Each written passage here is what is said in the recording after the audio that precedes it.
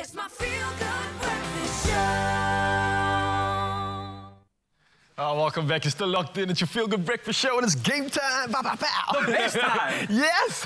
Now, of course, on Expresso Show, we started, we're starting out our Fortnite tournament this morning. Oh, it's so much excitement. But before we're jumping in, we're joined by the expert Grant Heinz to tell us about the do's and the don'ts and all the tips to get you further along and even possibly winning a battle royale. Oh. Grant Heinz, where do we begin with this incredible game, man? What tips can you feed Okay, us? so there, there's a lot of tips, Yes, and yes, there are yes. a lot of people in South Africa that are really good at this game. So, I mean, I, you can correct me if I'm wrong. Get onto social media, tell us what you guys think. Yeah. But uh, the first tip is make sure when you're playing any form of battle royale that you use the circle to your advantage. So, for those of you who don't know what that means, is that in a battle royale, you play with 100 players, and the map slowly starts to shrink as the game progresses, whittling down the last players, and uh, it's very dangerous to be on the outside of the circle and very safe to be on the inside of the circle. But you can use that to your advantage. You know, like a school of fish. You know, Okay. That's where the, the, all Oh, the- and they start to they start them to together. like Yes, that, yes, and you have like the predators that go along the outskirts. Do the same thing. Okay. You go make sure that you're on the outskirts,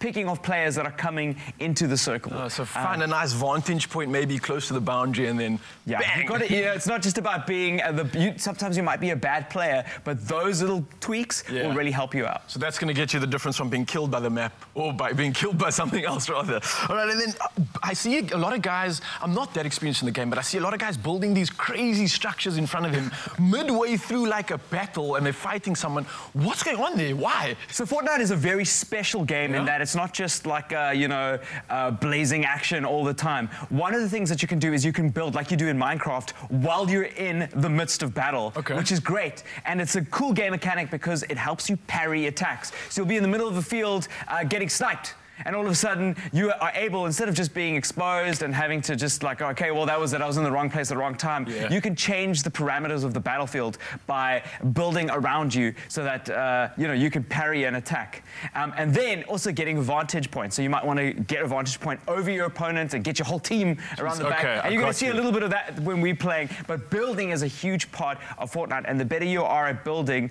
the better you are at protecting yourself and getting a vantage over your opponents. And a nice life skill there in terms of multitasking. I think all, us guys can learn a thing or two about that. now, listen, when it comes to, uh, I come from an old school background where I would just have like a rush mode. Anyone I see, I just spray and go crazy. Is that a good strategy if I'm like kind of just figuring this game out? Do I want to No. be the first to trigger or put more strategy in? No, no. I think when you engage in battle, one of the things that you really need to do is just know you're going to win.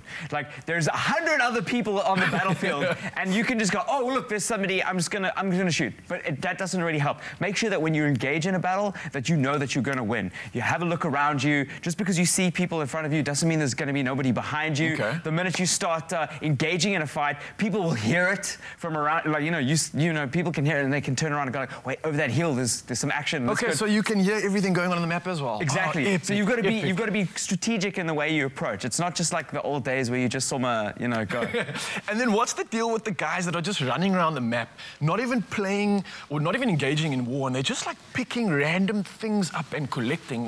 What's that all about? Is that a different game on the side? No, no, no. So in order to build, you actually need to have materials to build, Okay. like you do in, for, uh, uh, in um, Minecraft. You've got Okay, to like, basically Yes, yes, yes. mine that uh, those minerals from around the world. So you need to loot. But a lot of people get caught into the trap of looting too much. Once you've got your weapons and once you've got your uh, your, your materials, the right amount, you can actually loot off the enemies that you've eliminated. Okay. So rather do that in many ways than just go around and digging around the map because you're then exposed. You don't have your, your weapon assigned as your main weapon, and uh, yeah, you. Just running around like Father Christmas with all the goodies. Yeah, only goodies, yeah, and, then, and then guess what? Everybody wants those goodies, so then it becomes a problem. So you become bait then. All right, so talk to me more about the tournament that's happening now. Like, what sort of tips can we have when it comes to, is it elimination? Do we need Yeah. to just survive? Is it rack up So what we're doing here is a little bit different to what you do at home. So traditionally with a battle royale, it's about making sure that you survive, right? So uh, this is more about how many eliminations you get. So we're going to be playing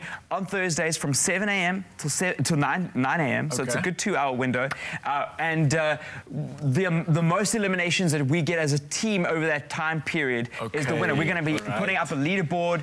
Uh, we're going to have people enter on social media. So if you think that you've got what it takes in Fortnite, make sure that you hit us up on socials.